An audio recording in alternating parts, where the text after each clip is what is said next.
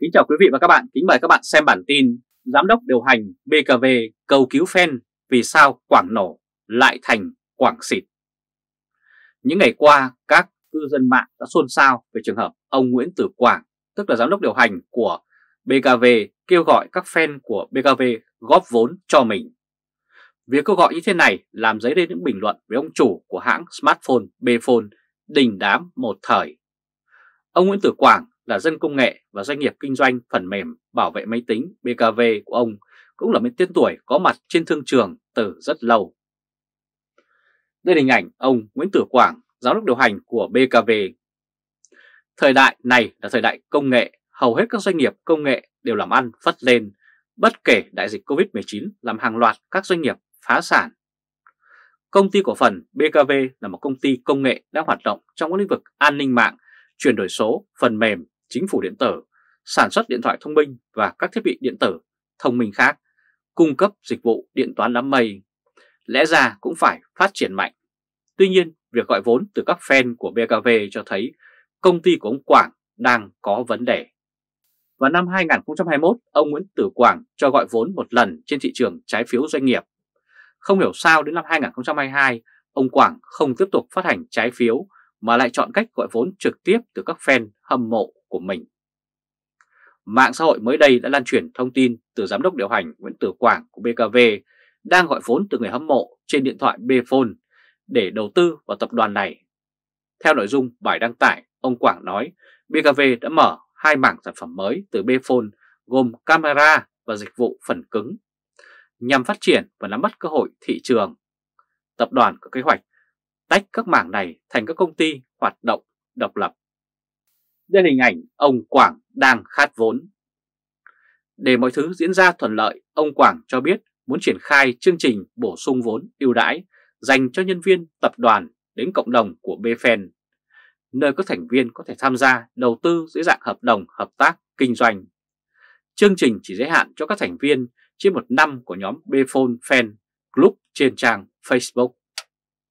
Hiện nay thị trường trái phiếu thì đang là cạm bẫy.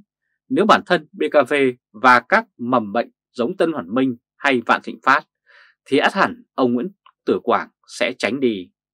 Bởi nếu kêu gọi vốn trên thị trường trái phiếu theo nguyên tắc niêm yết hẳn hoi thì e rằng BKV không đủ khả năng. Bởi để được lên sàn phải thông qua kiểm toán độc lập, phải được xếp hạng mức tín nhiệm. Thực tế chỉ có 5% số doanh nghiệp phát hành trái phiếu đáp ứng các điều kiện này, còn lại có đến 95% là không đủ điều kiện. Ông Tô Lâm thì đang ngắm tới một số doanh nghiệp phát hành trái phiếu kiểu Tân Hoàn Minh, nên ai cũng sợ. Số lượng trái phiếu mới phát hành trên thị trường chứng khoán đã giảm hẳn sau những vụ bắt bớ từ Bộ Công an. Việc ông Nguyễn Tử Quảng tránh né phát hành trái phiếu doanh nghiệp trong lúc này thì có người cho rằng BKV của ông Quảng đang có sức khỏe tài chính không tốt. Việc kêu gọi vốn dựa vào các fan cho thấy BKV hiện nay chỉ còn là quả bom xịt, khát tiền nhưng không dám phát hành trái phiếu vì sợ giống với Tân Hoàn Minh. Là công ty công nghệ, lẽ ra ông Nguyễn Tử Quảng đã ăn nên làm ra so với những loại doanh nghiệp khác. Tuy nhiên, làm bên công nghệ mà đói vốn thì cho thấy BKV làm ăn rất yếu kém.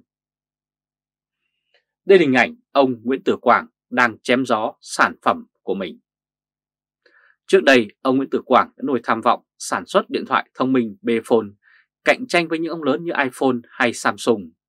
Và ông Quảng cũng cho ra đời điện thoại của riêng ông.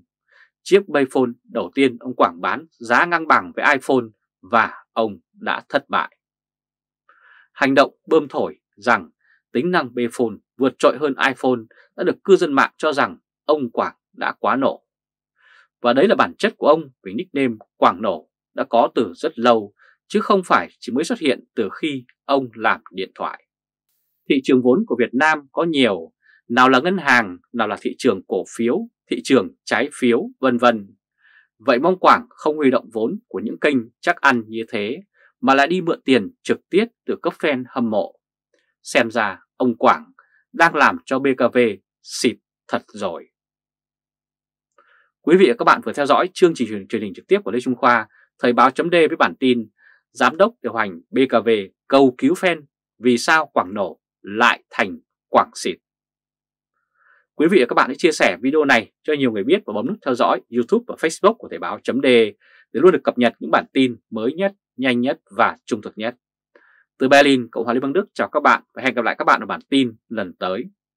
Trung Khoa Thời báo .de Kính chào quý vị và các bạn, kính mời các bạn xem bản tin Mặt tiền bỏ trống, kinh tế eo uột, Đảng vẫn nói tăng trưởng tốt. Hàng loạt mặt bằng diện tích rất lớn, mặt tiền đẹp ở ngay giữa trung tâm thành phố Sài Gòn đang trong tình trạng bỏ trống, đóng cửa suốt từ hơn một năm nay, dù giá cho thuê đã giảm rất nhiều. Có những căn giảm giá từ 11.000 đô la mỗi tháng xuống còn 8.000 USD vẫn không ai đến thuê cả. Trước đại dịch Covid-19, mặt bằng khu trung tâm đều có mức giá cho thuê rất cao. Những con đường đông du khách như Đồng Khởi, phố Tây Bùi Viện, Lê Thánh Tôn vân vân có chỗ cho thuê đến vài trăm triệu đồng một tháng vẫn có rất nhiều người muốn thuê. Nhưng kể từ khi đại dịch bùng phát, rất nhiều cơ sở kinh doanh đã đóng vì thua lỗ.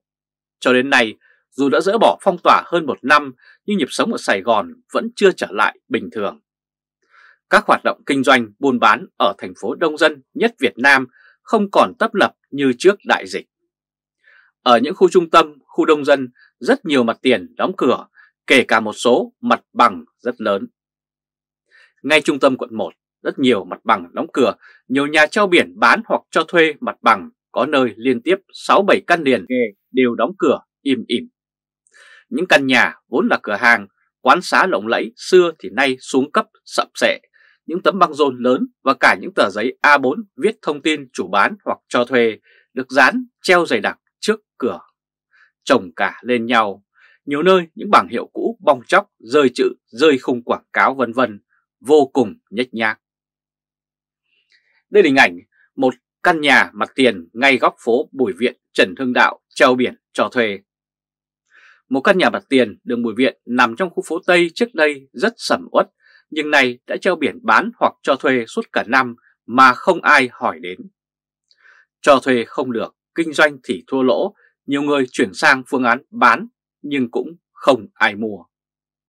Những người mua nhà mặt tiền là để kinh doanh hoặc cho thuê nên khi làm ăn khó khăn thì không mấy ai bỏ tiền ra mua căn nhà mặt tiền nữa.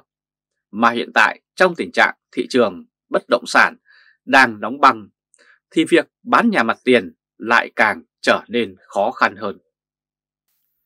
Truyền thông của Đảng Cộng sản thì cho rằng do đại dịch Covid-19 đã làm thay đổi thói quen người tiêu dùng. Từ chỗ đi mua sắm trực tiếp thì nay đa số người tiêu dùng đã chuyển sang mua hàng online. Mặc dù vậy, điều này cũng không xác định hoàn toàn vì việc mua hàng online cũng chứa đựng rất nhiều rủi ro, dễ bị lừa đảo nên nhiều người đã từ bỏ phương thức mua sắm này. Đồng thời, rất nhiều dịch vụ cần thực hiện tiếp như spa, làm đẹp vân vân cũng làm ăn thua lỗ, số lượng các cửa hàng vẫn giảm đi rất mạnh. Ngay cả những cửa hàng quen thuộc như các hệ thống thức ăn nhanh, bách hóa xanh cũng thu hẹp số lượng cửa hàng của mình. Đây là hình ảnh nhà mặt tiền ở Đà Nẵng treo biển cho thuê. Tình trạng tương tự cũng xảy ra ở các thành phố lớn. Người dân ở đây đang rất ngại bỏ tiền để đầu tư kinh doanh vì hàng quán thì ế ẩm, khách hàng lại thưa thớt. Lượng người thất nghiệp nhiều mà giá cả các mặt hàng thiết yếu lại tăng từ 50, 15 cho đến 20%, dẫn đến sức mua giảm từ 20 cho đến 30%. Bên cạnh đó, việc ngân hàng siết chặt tín dụng cũng làm cho người kinh doanh thiếu hụt vốn, lãi suất lại quá cao, khiến cho việc làm ăn càng thêm thua lỗ. Nhưng cho dùng bức tranh chung của nền kinh tế đang vô cùng ảm đạm thì nhà cầm quyền Việt Nam vẫn cho rằng kinh tế tăng trưởng tốt trong năm 2022. Họ đưa ra dự báo dường như rất khả quan là tăng trưởng cả năm sẽ vào khoảng 8%, còn lạm phát sẽ ở mức dưới 4% và ở trong mức kiểm soát. Đây là hình ảnh chỉ số tăng trưởng GDP 9 tháng đầu năm 2022 theo số liệu thống kê của Đảng. Không biết còn được bao nhiêu phần trăm người dân tin vào những con số đẹp đẽ mà Đảng vẫn thường đưa ra, khi mà thực tế cuộc sống đang gây áp lực lớn lên từng nhà, từng con người. Rất nhiều gia đình đang phải chất chiêu, chi tiêu, nhiều người phải tìm cách bán đi đất đai tài sản để trang trải cho những khoản nợ do làm ăn thua lỗ hoặc đầu tư sai lầm. Khi cuộc sống bế tắc thì những liều thuốc an thần, những lời du ngủ của Đảng liệu có còn tác dụng hay không?